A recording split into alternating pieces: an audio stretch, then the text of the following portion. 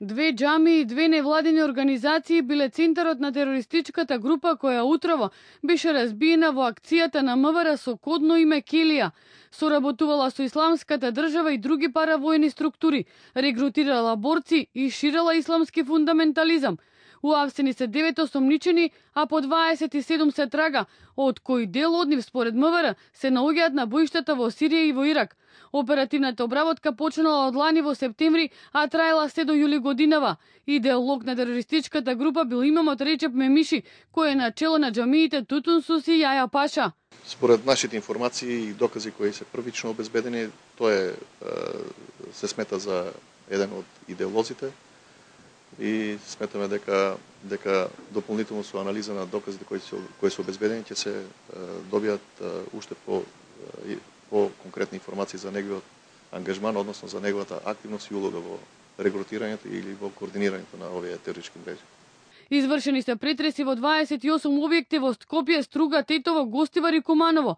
Влезено и во седиштата на невладините Искрена Милоста и Исламска младина Сарај, во интернет кафе, како и во придружни објекти на двете џами. Министерот Чавков рече дека се обезбедени докази за соработка на осомничените со паравојни структури од Сирија и Ирак, но и со други терористички групи.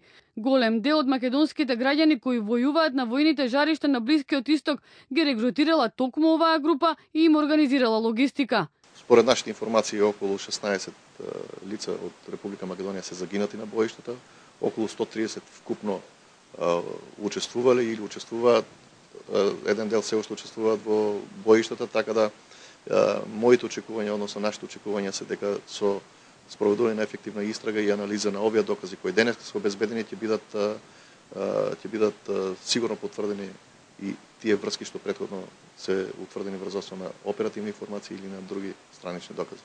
Истрагата треба да покаже какви им биле дома плановите на повратниците кои биле дел од исламската држава, дали на мета била Македонија или земјите од регионот. Дел од осомничените беа изведени на распит во кривичниот суд во Скопје.